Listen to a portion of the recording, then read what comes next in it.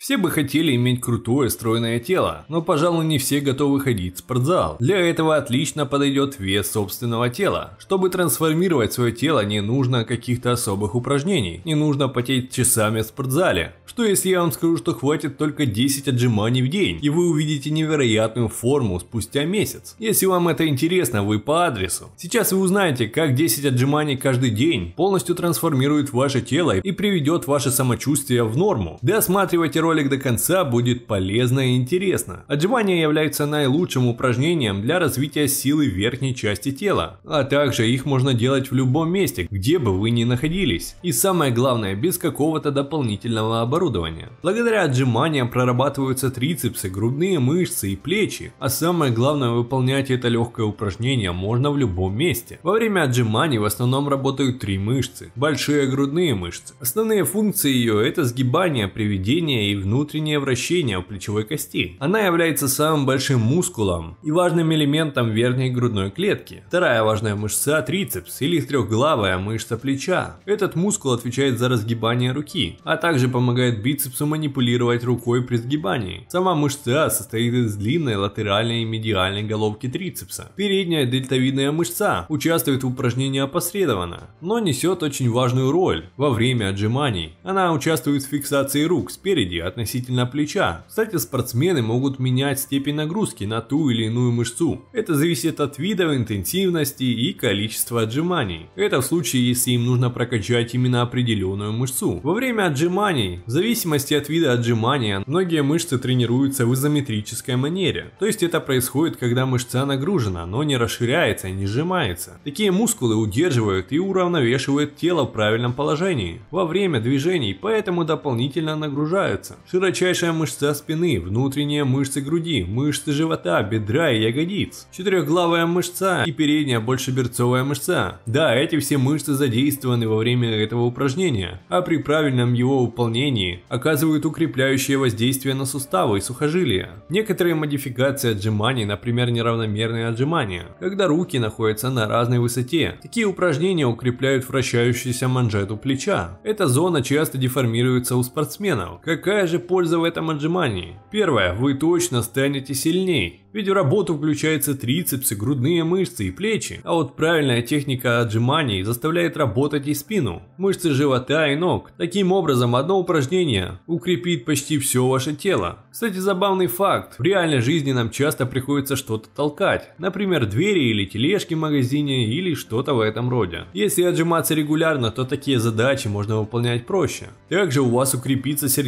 сердечно-сосудистая система, а ученые связывают тренированность мышцы, сокращение сокращением риска возникновения сердечно-сосудистых заболеваний. Например, ученые обнаружили зависимость между количеством отжиманий, которые может сделать человек, и состоянием здоровья его сердца. Мужчины, которые могут выполнить 40 и более отжиманий, за один подход на 96% меньше подвержены риску сердечно-сосудистых заболеваний. А вот те, кто не может отжаться и 10 раз, и находятся в тех 4%. Все это можно объяснить тем, что нагрузка больших мышц требует доставки к ним кислорода, а это в свою очередь заставляет сердце работать, так что отжимания это отличное упражнение. Для того, чтобы прокачать сердце, вы защитите от травм ваши плечи. Травмы плечевого плечевого сустава часто случаются в непредвиденных обстоятельствах, например, во время падения, а обычные отжимания могут задействовать мышцы-стабилизаторы плечевого пояса и поэтому служат одним из лучших упражнений для этого, чтобы защитить суставы и связки плеча от повреждений, укрепление поясничного отдела. Эта часть тела участвует почти в каждом движении, ведь боль поясницы довольно частая проблема, а ведь перегрузка или травма этой области может стать настоящей проблемой. Отжимания задействуют всю часть корпуса, что позволяет позволяет укрепить и эту уязвимую часть тела. Сильные мышцы груди и спины позволяют предотвратить возникновение травм. Крутая осанка. Отжимаясь каждый день, вы станете обладателем красивой осанки. Ведь всем известно, что одна из причин неправильной осанки – слабые мышцы кора. Чтобы поддерживать позвоночник на нужном положении на протяжении всего дня, когда вы работаете за компьютером или просто гуляете, вам нужны сильные пресс и спина. Правильные отжимания заставляют эти мышцы работать. Если делать отжимания каждый день, тело привыкнет привыкнет к нужному положению. Так что же будет, если каждый день отжиматься хотя бы по 10 раз? Если вы не профессиональный спортсмен, сделайте максимальное количество, которое вы сможете. Не стоит гнаться за цифрой, смотрите по вашему ощущению. Ведь будет намного полезнее, если вы не будете до конца дорывать ваши упражнения. Особенно если вы делаете их каждый день. Запомните цифру вашего максимума. И уже спустя одну неделю эта цифра вам покорится. При правильных и регулярных упражнениях через 2-3 недели вы сможете увидеть